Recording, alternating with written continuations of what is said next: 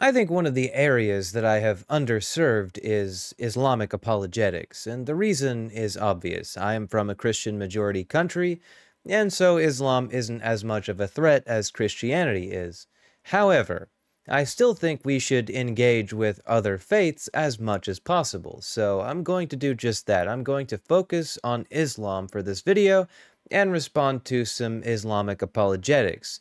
This video is called Atheists Can't Answer These Three Questions, so let's see what these three questions are and find out if we can answer them. Atheism, a view that constantly leads you to a dead end while questioning the universe. While everything we see in the universe is actually evidence for accepting the creator, atheism ignores them. Okay, these are just assertions. I don't think atheism leads you to any kind of a dead end. What atheism does lead you to is there are things about the universe I don't know that may be fundamentally unknowable, and just because they are unknown and maybe unknowable doesn't mean you have the right to just throw your God in there willy nilly. But let's continue. We can talk about it very long, but today we will consider only three questions that atheists cannot answer. Bet I can. Question number one Where do these characteristics come from? It's an established rule that one cannot give what one doesn't have to another one. For example, let's say there are only 100 white balls in a glass sphere. What is the chance of a red ball to be chosen from this sphere? Of Jesse, what the fuck are you talking about? Of course it's zero, right? No matter how long you wait, you will not get any because there is no red ball inside the sphere anyway. Keep this example in mind. Let's consider a black pencil. Can you draw a rainbow with this pencil? No, because the pencil is in no color other than black. So well, I mean, technically you could draw a black rainbow, couldn't you? Or a rainbow with shades of gray, couldn't you? So naturally, a rainbow cannot be drawn. What I mean is, you cannot give a feature you don't have to someone else. Now, I take a look at the universe and I see that everything is made of atoms. How Okay, so he understands that atoms exist. That's a good start. However, although atoms are ignorant, willless, lifeless, and blind, deaf and numb creatures having no cognitive senses, when they come together and occur to us as a human being, we see that the man made of them carries all these features. So, the basic question All of what features exactly? But also, he's kind of missing a few steps here because it's not like there's just atoms free floating in the universe and they all just coalesce all of a sudden to make a dude. That's not how that works, okay? At the very beginning, the Big Bang, there probably would have only been the single type of matter. And then as stellar evolution happened, uh, cosmic evolution, you know, over a long period of time, you get more and more different elements popping up as a result of stars of various kinds being formed. And over time, that results in a very wide variety of elements in the universe. Now, Thankfully, that happened, and something like, you know, 9 billion years after the Big Bang happened, little solar systems were forming, or should I say stellar systems, star systems were forming. Solar system technically only refers to this system we are in right now around the sun. So, star systems, hopefully, nitpickers will uh, avoid criticisms there for that. And uh, these star systems have all the ingredients for life around them. We've discovered a bunch of them still forming currently in the universe that have all the elements of life. Turns out water is common, turns out carbon is common, turns out amino acids, the building blocks of life, are extremely common. All of these things are common. Uh, planets in the habitable zones of their stars, very uh, common. All of these things we find all throughout the cosmos. So the building blocks formed over billions of years exist in just solar systems galore all over the place, right? And then eventually life emerges. How does life emerge? Well, that's a good question. We don't have all the answers, but there are some pretty good educated guesses. You can check out Professor Dave. He's been in a lot of arguments with this, um, I mean, about this subject, with people about this subject. That's a good place to start. I'm sure Forrest Valkai's done something on it. I'm sure plenty of other people have as well.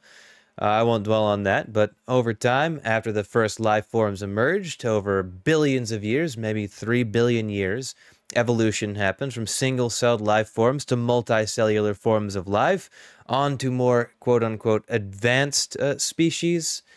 And then on and on and on until today you have modern man. And we can chart the evolution of humanity back into time for millions upon millions of years. I mean, we know, for example, that humans and chimpanzees last shared a common ancestor something like six to nine million years ago, if I'm not mistaken. Um, gorillas, something like 20 million years ago, 16, I think, to 20 million years ago. And we can just like chart this back over time. We can see the genetic linkages between every other animal in the animal kingdom. We know, thanks to DNA, we have a long record of our evolution and our relation to every other form of life on Earth that we have ever discovered. Plus, we have a stellar um, fossil record with which to corroborate this amazing evidence found in our DNA. So it's not like a human just emerged from a set of atoms. No, no, no. The path to life, to modern man, was long indeed. And everything you are, everything you think of yourself as, all of this personality stuff, it's the result of electrical impulses in the brain. Electrical impulses constantly flowing in various directions throughout the brain, alongside your senses, your, your sense of sight, smell, touch, taste, hearing. These senses and electrical impulses come together to make up what is essentially you. These are emergent properties, something known to happen in nature very frequently, uh, with or without talking about humans in specific. So, yes, we have an answer to that question. Let's continue. Let's see what else he has. Is, how can atoms give these properties to human beings while they lack all of them? As they cannot be the true sources, there must be someone else holding these attributes. Be they can be the true sources. They are the true sources. Where else would these things come from? Nobody came down out of the sky and put me in my mother's womb. I mean, somebody definitely did do that, but it wasn't God. It was my father. And, you know, there was, D- it was a nasty, messy affair, I assume. Lots of DNA involved. Uh, and we don't want to get into that, obviously. But uh, thanks to that whole disgusting process, uh, nine months later, there was baby me. And over time, baby me learned and developed and grew into this wonderful specimen you see before you today. I was the best mistake that my parents ever made. And uh, believe you me, uh, nobody came down and planted the attributes of me in me. Those developed over time as the result of interaction with my environments, other humans, that sort of thing. So these are emergent properties of me, of the person that I am, and they did not come from a god. They came from first DNA shared between two people that resulted in a baby me. And then over time, baby me learned and grew and developed. And, you know, if I were to get, let's say, a traumatic brain injury or to have like a stroke or something like that, all of all the things that I am could disappear or change entirely. People have traumatic brain injuries and strokes and they become different people or or in a real sense cease to be people at all. This happens. That implies that you are your brain. That's an important thing, I think. Because the atom that cannot see cannot create the seeing eye. The atom that cannot hear cannot make the hearing ear. The atom without life cannot form the human who has life. The These are all assertions. I mean, there is really nothing, I don't think, special separating life from non life. Uh, I mean, you know, philosophers have been talking about this for just eons and eons and still don't have solid conclusions about really what separates life from non life. Um, but I don't really think that life is that special overall. Like, I don't think that life is anything other than a combination of chemicals that do things. Just like anything else in the universe. That's essentially what it comes down to. Are we more complex than, like, let's say, a rock? Well, yes, certainly. Uh, are we more complex than, let's say, a nuclear reaction? Well, probably, yes, in some regards. Um, does that make us special and fundamentally different than these things? No, we are made of the same stuff. Whether or not you think we are special in some way, we are made of the same stuff. A human being has a variety of feelings while atoms don't have any. And all of these things How do you know atoms uh, don't have any? Have you asked recently? Have you checked up on your atom friends and been like, hey, do you have any feelings? I doubt you have. things are repeatedly happening every day, even every second. So isn't it necessary to accept that they are under the command of a creator who has attributes such as knowledge, will, power, life, sight, hearing, and compassion behind these atoms? As we said, You know what? You're right. You have convinced me. God exists, it's a law, and He created me to be an atheist just to respond to videos like this on the internet. So I must serve His will and do exactly that. So I will continue. sets. One cannot give what one doesn't have to another one, so there must be a creator. Second question Amazing, amazing, astoundingly stupid logic there, my guy. Who is the judge? Who is the prisoner? If everyone is a soldier, a commander is required. If everyone is a prisoner, a judge is needed. It's a rule that you cannot be the judge and the prisoner at the same time. What does this mean? You know that I think there must be some kind of mistranslation happening here. I'm sure this is going to make sense once it's explained, but like it could be like laid out a lot better. Um and like I, I don't want to like fault the guy for this. I'm not even sure if that guy's the one really behind all of this, but like, you know, to me it's a really impressive thing uh, to learn a different language. I can't uh, speak anything other than English. I can understand spoken Spanish uh, sometimes and, and written Spanish sometimes, but like I'm monolingual. So whenever somebody knows another language, I find that inherently uh, impressive. I'm impressed by it. Um, if you can speak it, I'm impressed by you. So that's cool. But things do get lost in translation, and I feel like something here is being lost in translation. But let's try to make the best we can out of this situation because I really do want to answer them honestly. I might make fun of them a little bit, but you know, I do want to answer. A room cannot be dark and light at the same time, or a paper cannot be dry or wet at the same time. These are some examples confirming that one cannot hold two opposite attributes at the same time, because carrying two attributes opposite to each other is a contradiction. Being a judge and being a prisoner are two opposite states. If you are one of them, it's impossible to be the other. Now, think of a building which is being built with bricks. If you do not accept the architect to build it, it will be a contradiction to accept that bricks are building this on their own. Because Let's just uh, stop for a second because if they see this video by any chance, I mean this this channel has like two million subs, so I doubt any of them will ever see this. But let's assume they did see this. Simplify your examples a little bit. Try to work on simplifying everything because you got to remember, Americans. I assume that's who they're targeting. Maybe people from the UK, but Americans are not that bright. I hate to say it, it's true. Americans are not that bright. Um, following something like this will probably drive the average American to uh, something resembling insanity.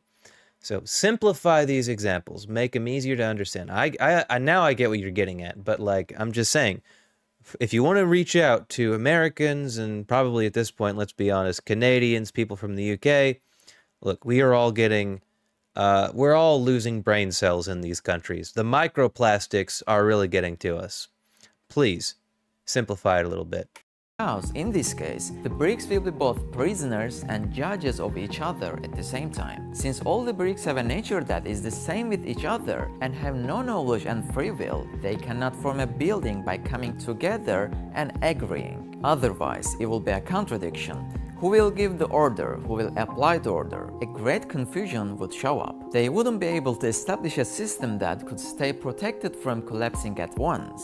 So, they are all prisoners, and there must be an architect who has an this is just like the watchmaker argument but like the the really long-winded version of the watchmaker argument i'm sure all of you know what that is but if you don't it's just something that christians use like so if you found a watch in a field and nobody else was around would you think it was natural and the answer is well of course not but we know how watches are made we know that humans make watches we've never seen nature make a watch we have seen nature make plenty of other things, so that's a pretty big difference. So it's just that argument, just like the long-winded version of it. But let's see if let's see if he ever like completes it. an absolute power on them. The judge is the architect and the bricks are his prisoners. Likewise, when we examine this is a super mixed metaphor, but like, you know, after a point, how many metaphors can you mix? Like he mixes like like two different metaphors, and now he's moving on to the human body, and I really hope he doesn't mix those metaphors with the human body because this is getting like legitimately confusing, even for me. And I'm like, I don't know. I, I think I'm kind of smart, I guess the human body, we infer that atoms cannot make this system. 350,000 people are born every day. Who is the commander here and who is the applier? If we assume the atoms to be doing this job, which ones among them give orders and which ones follow the orders? How can atoms get along with each other and create so many people every day while they have no knowledge, free will, and life. So, just as bricks cannot make the building, atoms cannot agree to carry out a quite complex job. That is to say, why is this guy itching to give atoms uh, consciousness or agency? No, you are correct. Atoms do not have consciousness or agency. But they don't need to, because nature works in certain ways. There are certain ways nature works that we call laws. These laws determine the bounds of nature. Things can only act in nature within the bounds of these things we call laws. And I just want to clarify, just because there are laws doesn't mean there is a lawgiver. It's just how things work in this universe. But I digress. Things just work as they do in this particular universe because of the way the laws of nature work. Now, each individual atom in my body, in, in, in my hands, do not need to understand what I'm about to do. They don't need to understand what's going on here. Let me tell you how this works, okay? So, what is a hand made of? Now, I'm no expert in anatomy, but I think I have the basic idea of it. A hand is made of, you know, bones. You got some bones in there. Really creepy stuff, spooky skeleton. Um, you got some muscles in there. Muscles, uh, also very creepy looking. You got some blood vessels, some blood. You got nerves. You got, I assume, tendons and stuff like that. Uh, you got some joints in there. Really nice stuff. Um, but we have nerves, which I think are probably the most interesting one because there is a nervous system that runs from my brain, which, if you didn't know, is in here. Uh, not in everybody at this point, I assume, but in here for most people. And these nerves run from the brain all over the body, including up into the hands. These nerve impulses determine a lot about what we do. For example, let's say, so I have a candle right here. Okay, I have a candle. It's not lit currently. Let's take the top off of my candle. And a big puff of smoke just went out because it was lit uh, earlier. But uh, here's my candle. It's a Happy Hanukkah candle, ironically. Because I'm not Jewish and a Christian bought it for me. Um, smells really good, really nice stuff. Let's say this candle was lit right now. Okay, let's let's say I lit this candle and there is a, a pleasant odor emanating from it. Now let's say that I take this hand using my nerve impulses and my muscles, and I stick this hand over it. Now, the atoms of my hand, they're probably not going to be carbonized by the flame before they start to heat up and my nerves send the signal to my brain. This signal is going to say that this is hot. It's going to say that there is hotness happening here, hotness is increasing, and you should probably move that away. Each individual atom in my hand does not know what's happening. The only thing that's going on here is my brain is detecting that things are changing in the area around my hand. And it's changing in a way that indicates this could get painful very quickly, and that pain is going to make me want to do this. Hopefully, very quickly, because burns can happen very quickly. And that's just a basic idea of how these things work. Now, is that the most scientific explanation? Well, no, I'm not a scientist. Is that the best explanation you'll ever hear? Probably not. Does it serve at least some purpose? I think so, because the point I'm getting at here is the individual atoms don't have to know anything, okay? They don't have to know anything. Because when you get certain atoms together, they create certain structures. And uh, and honestly, I mean, proteins are probably more relevant here, but proteins are of course made of atoms. So, regardless, you get them together, they create certain types of cells with certain types of functions. All of these cells working together do send things like signals to other parts of the body. In nerves, I mean, it's going to go straight to the brain really fast. It's going to tell you if you're in pain, because if it didn't, we would not have survived long enough to evolve to become these creatures that took over the planet. If we were just getting hurt everywhere we went, and without even knowing it, we wouldn't be alive long enough to multiply, to live long and prosper, as it were, if you're into Star Trek. This is a very labyrinthian explanation, I know. But ultimately, we can just go back to the one point that, like, atoms don't have to know what's going on. It's not the individual atoms that make a difference, it's what the atoms themselves create. A bunch of atoms coming together to make up a brain are a big difference from individual atoms just chilling. It's a big difference, and it's all the difference in the world. Atoms are prisoners, and their judge is God, Allah. Just as the same with the architect of the building, the architect of the human being continues to create and keep the human body standing all the time. Question number three.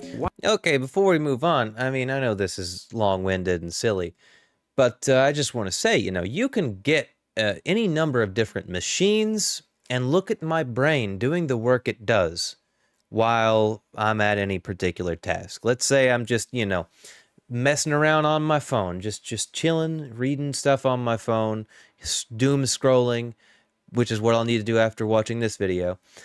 You can like hook me up to a machine, different types of machines, and see how my brain works, how these nerve impulses are working in my brain, how these electrical impulses are working in my brain, what they're doing to it, how the different regions are interacting with each other as I'm doing these very different things with my phone, doom scrolling.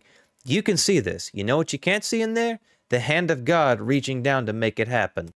What is the real reason? Imagine that we see a train and a baby is pulling this huge train with a rope in his hand. Nobody would believe this, so they would look for a hidden cause behind it, right? Because there are no attributes such as sufficient power, knowledge, and will in a baby. No doubt, another resource is required. In fact, we see gaps between causes and effects in the universe.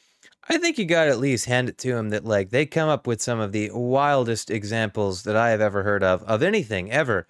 A baby pulling a train um, is certainly something. That is wow. Universe every day. While the causes are so simple, the results are extremely complex. The emergence of huge trees from a tiny seed, the emergence of a magnificent peacock from a simple egg, the emergence of a complex human from some simple water show us some examples of the gap between causes and results. So it's necessary to look for another source behind the view. Okay, so when when we look for this source, how do we look for it? Do we use radio telescopes? Do we use uh, gravitational wave detectors? Do we use uh, regular optical light telescopes? Do we use UV? Do we use infrared?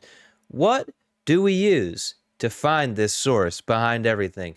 Do we use an MRI? Do we use a CT scan? Do we use what do we use? How do we find this source? Because again, in anything we look at in nature, it looks just like you'd expect it to look if there were no God there, no God controlling it.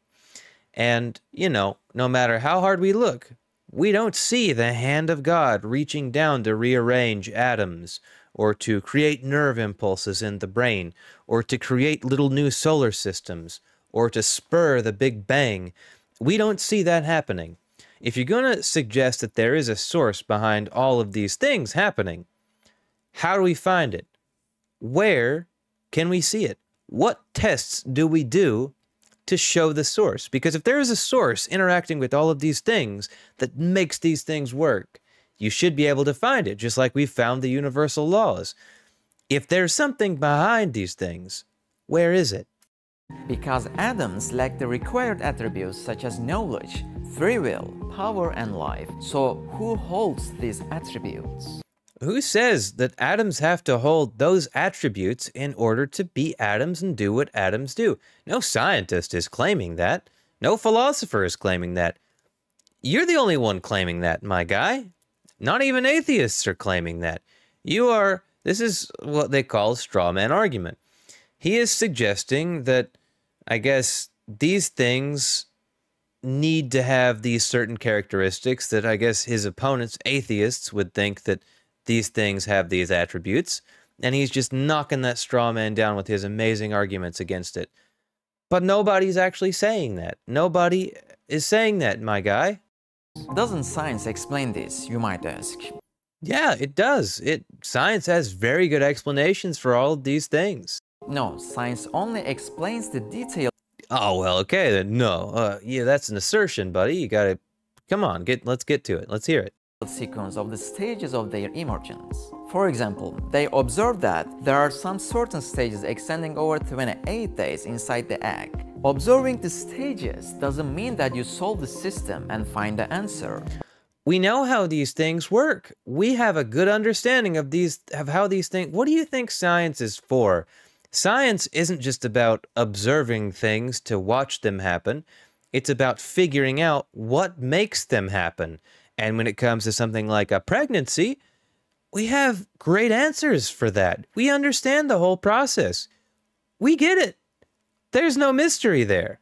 Observing is just seeing sequences. There are still questions in the mind. How can these atoms form a structure like a peacock? DNA. Uh, we have explanations for that too. Despite lacking attributes such as knowledge, free will, power, and life. An explanation which is based on temporal sequence of events leaves out these questions with no answers. So, as we said in the beginning, that a baby cannot pull a train. Just like that, another cause appears to our minds behind the scenes due to the gaps between the so-called causes and their effects that we examine in the universe. So so I'm not convinced. Are you convinced? Let's see what he's about to say about, about how he's about to finish this. Let's see what he does. So everything we see tells about Allah, those who Okay, so how do you know it tells you about Allah? Because every religion out there says that the wonders of creation tell you about the truth of our God. But they can't all be out there. So which one is it? How do I know? How do I find out? Do I just take your word for it because Christians claim the same thing? Should I take their word for it? Whose word should I be taking here? And how do I know that any of you are right about it? What if it's a different God entirely, one that you haven't even thought of yet, one that hasn't even been invented yet, one that just exists out there that doesn't even care about us? How do I know that? See, there's a big gap between proving the need for a God and proving the need for your God. Now, I could see that there could be, for some reason or another, a God could exist. That's not out of the realm of possibility. But even if there were, I don't see why it'd be yours. I don't see how uh, you could convince me that yours is real uh, any more than the Christians can. You both have the same amount of evidence, which is just you have a book. Great, you have a book. You have a book, the Christians have a book, the Jews have a book, the Hindus have some books. Everybody's got books. They all say our gods did all this. I'm not buying any of it. Sorry. Who want to find him? We will share these kind of videos inshallah about atheism, agnosticism and deism. So don't forget to subscribe and... Well, I'm glad they didn't forget about deism because uh, let's assume that atheists couldn't answer these three questions and that not answering these three questions pointed to the existence of a god. Um, the deist god would be the obvious choice. However, let's also just say this that if there are three questions atheists can't answer along these lines, if atheists couldn't answer any of these questions, that would not immediately mean atheism is wrong. Uh, because there are plenty of times throughout history that atheists didn't have answers. Like there's a time before we thought of evolution, or a time before we thought of the Big Bang. There were certainly lots of times before we actually had solid evidence for those things, but they were there the whole time. Just because we don't have an answer yet doesn't mean the answer isn't out there. And that doesn't mean you have the right to just say, well, since there is no answer, it must be my answer. Wrong. Um, you can't do that. Sorry. Anyway, I'm sorry this is so long. I didn't think it was going to be this long, but I've uh, just had a wild time with this one. So I hope you enjoyed. I hope you have a lovely day, night, evening, whatever it is there. I hope you have a lovely one and a lovely life. Thanks for watching.